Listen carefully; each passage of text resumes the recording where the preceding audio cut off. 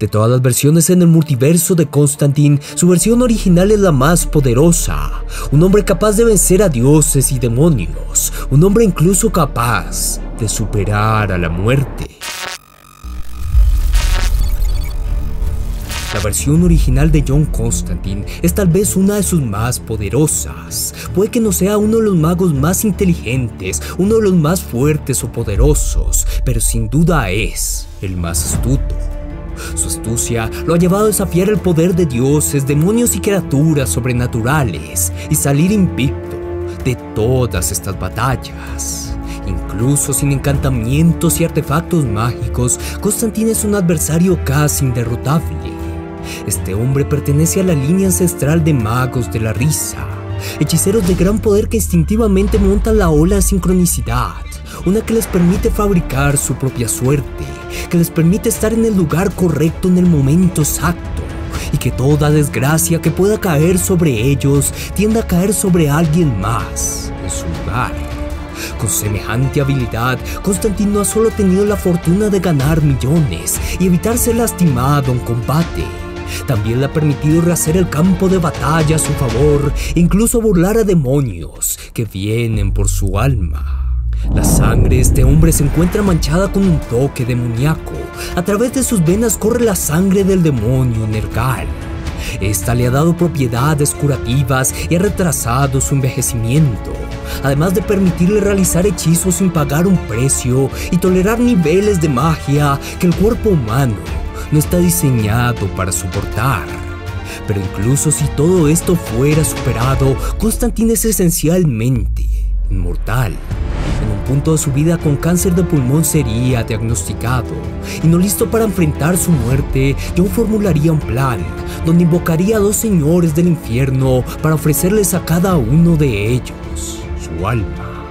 Luego abriría sus muñecas con una cuchilla y dejaría que la sangre virtiera hasta que su final llegaría. En ese momento sería visitado por el primer caído, por Lucifer, que vendría a reclamar su alma, pero asimismo lo harían los otros señores del infierno. Ninguno de ellos se encontraría dispuesto a renunciar al alma de Constantine, y sabiendo muy bien que esto desataría una guerra en el infierno, removerían el cáncer del infame Mako, y se asegurarían que su muerte no llegara para evitar que una guerra en el infierno fuera librada. Pero las habilidades que innatamente hacen parte de su cuerpo no opacan sus habilidades en las artes místicas. Con su poder ha podido viajar a través del tiempo y dimensiones, ha tenido la osadía incluso de arrebatar la magia de otros hechiceros y tomarlas para sí mismo. Y ha hecho que los ataques de su oponente queden en dimensiones de bolsillo para no recibirlos. Con sus encantamientos, Constantine ha podido capturar a dioses, ángeles e incluso al Phantom Stranger. Ha terminado la vida del dios Nabu solamente utilizando una ilusión y ha sido capaz de exorcizar del cuerpo de un mortal a la misma diosa de la magia, a.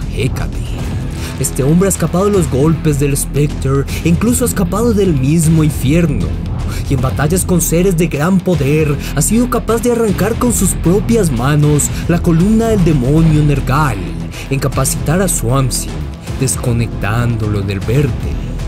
Constantine es dueño y tiene completo control de la House of Mystery, un lugar que ha sobrevivido a la destrucción del mismo universo y se encuentra llena de artefactos mágicos y cualquier persona que haya aceptado una invitación a esta casa puede ser invocado para combatir a favor de Constantine. Todas estas hazañas y habilidades lo hacen uno de los hechiceros más formidables y poderosos en todo el multiverso. Y de esta forma damos inicio al maratón de las 5 versiones de Constantine. Toda esta semana estaremos subiendo las versiones más poderosas de este personaje y para no perdérselas, no olviden suscribirse al canal y activar las notificaciones, porque el día de mañana conoceremos a la versión de Constantine con el poder de un dios.